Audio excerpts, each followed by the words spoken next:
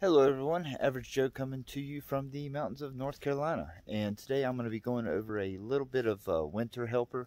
Um, it's a hammock sock. I'm using the OneWind brand one. Uh, it's a little nice little budget one. I'll put the link below. It's a nice cost efficient, cost effective one to use for your first time out on the trail. I don't have it in the bag because I actually have it in a Black Bishop bag I made. So this has my hammock. My sock already surrounded the uh, hammock and of course the sock. So uh, we're just going to hang this up real quick and I'll go over some of the details about it. This is actually one of the reasons I love using a Black Bishop bag. So I've got my hole I've uh, sewn into the end of it. And you just uncinch it, grab a hammock, and just walk it out. Alright, so here is the sock all wrapped around the hammock itself. Where you have one end that's wide open that you can cinch down with this cord. So you can slide it over your hammock if you want to get in and out. You just cinch it down tight. That protects that end. And then down here at this end, you have a little bit of a cinch on it but it's not as wide of an opening mainly just enough to get a little bit of breather to get your suspension in there. So and underneath it which I did not know till I got it you have an opening so you can actually get in your hammock pretty easily. And it's got a cinch cord at both ends. So once you get in there you can cinch your butt tight. Um, I weigh a little bit, so a bit of my underquilt does hang out. Uh, I'm going to try to get it in there and see how close I can get this thing cinched up. And you have your two breather holes to help prevent condensation. It's 20 degrees out here right now. I'm really looking forward to seeing how warm I can get in here, well, even with these two. But if it's a really windy day, if you just pitch your tarp really low and tight, that'll help block the wind from coming through here. But for the sakes of the video and not blocking this beautiful gem, I will not be using a tarp. So let's go check out the inside. Okay, so we're going to pull it back up. Get a little opening. Pull our hammock back.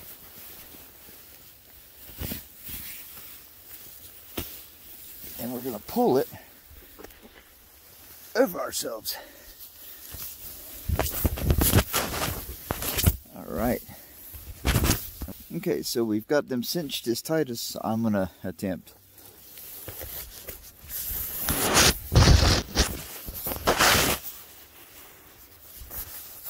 As you can see, get pretty good coverage. Do have a little bit of an opening, but with my underquilt, which this is a 20 degree underquilt with two ounces of overstuff from uh, hammock gear. And if I need to, I'll put a sit pad underneath my butt. I use a Dutchwares little egg, um, egg carton one. And as you can tell, it does block the wind pretty well. I'm, I'm in the mountains and it's kind of windy today and I'm not catching much of a breeze and it's starting to get warm in here. But you notice it's kind of on you. I mean, I'm, I can get claustrophobic, as most people can and you do have these two openings here at the top. So you're laying in here and you feel this get on top of you. I made pretty much a spreader bar out of using my hiking pole. And some cord. So I've got little uh, slip nuts at the end of it. And up here, I have an S-hook that's actually got tied on with a lark's head knot so that way it doesn't keep the line from it doesn't keep the hook from sliding forward or backward. It creates a little bit of space in here for those of you like me that are claustrophobic. And if you need to extend it just undo your lock and slide it out. Now if you do apply too much pressure I do advise putting a sock or a glove or something over this carbide tip so you don't tear the material. Other than that, it's pretty warm in here. I'm overall so satisfied with it. It doesn't weigh much. Um, I'll put the weight up here the, on the screen.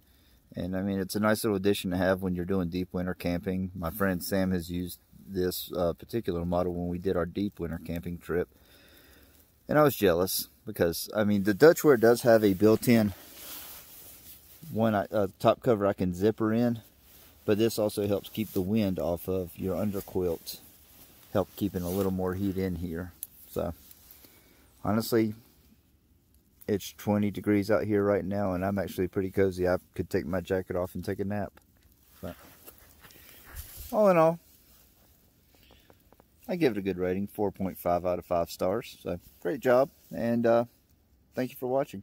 Okay, as in an addendum to the video, we're gonna I'm gonna show you how I did that line for my hiking pole.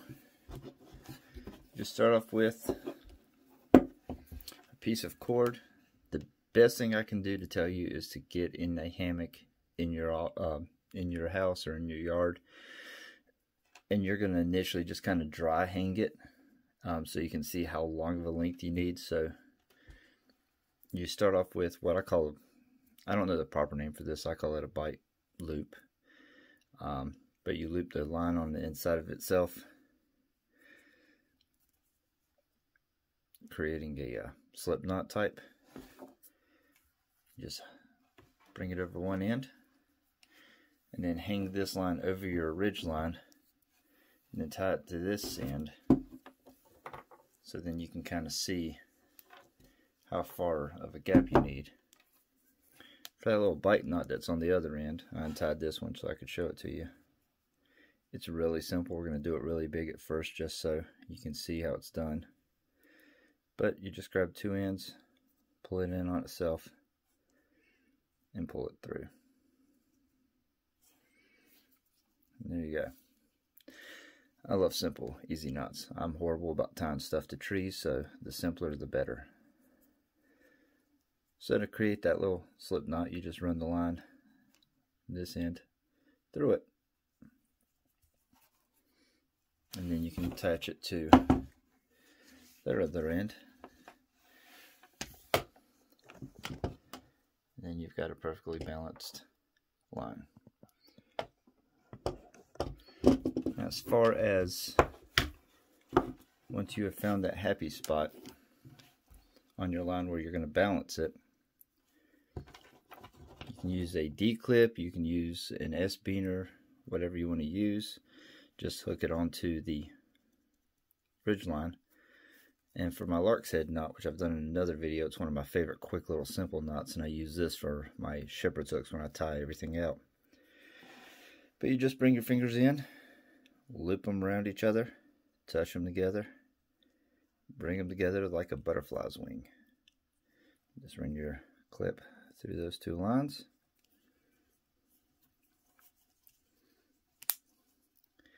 Just pull tightly and you've got yourself a lark's head knot.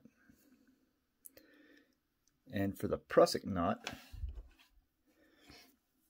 this is a neat little booger. Uh, I use it on my hammock so I can slide it up and down.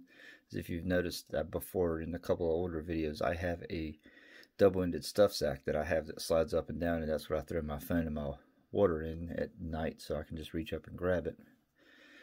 But it's the same kind of like bite knot you saw with this. It's the exact same thing. I just use a piece of shock cord to get a little bit of attention to it. So, take your piece of shock cord. It's the same thing. Just running around itself.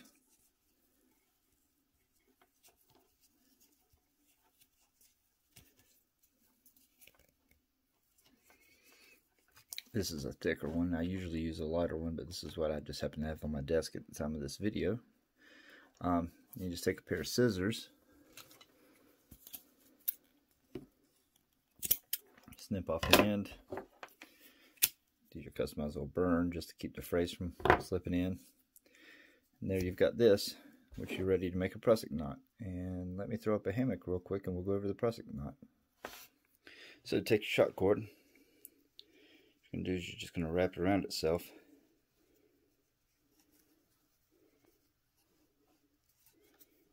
try to keep these loops lined up so they don't overlap each other. Alright, and then take this piece and run it through that hole.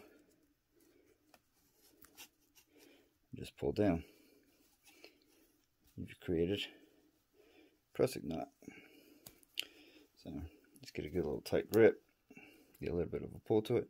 You can see where you can actually take it and slide it up and down your ridge line. It's a nice little stopper. Say so hypothetically, got my double-ended stuff sack. Now I got a water bottle in it or something, and it adds weight.